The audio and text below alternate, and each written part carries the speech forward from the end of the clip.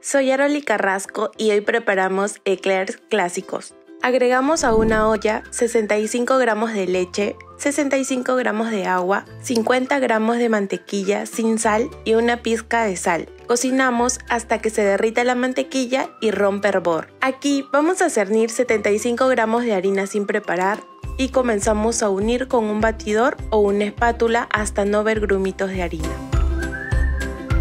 Cocinamos un minuto más y colocamos la masa a un recipiente.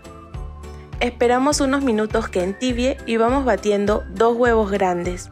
Ya listo, lo vamos a agregar a la masa anterior en dos partes y vamos incorporando con una espátula.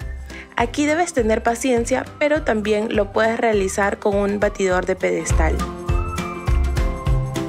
El punto es este, no tiene que ser ni aguado ni espeso. Voy a utilizar esta boquilla y le vamos a agregar masa a la manga pastelera. Mangueamos de esta manera sobre una placa con silpac o papel manteca.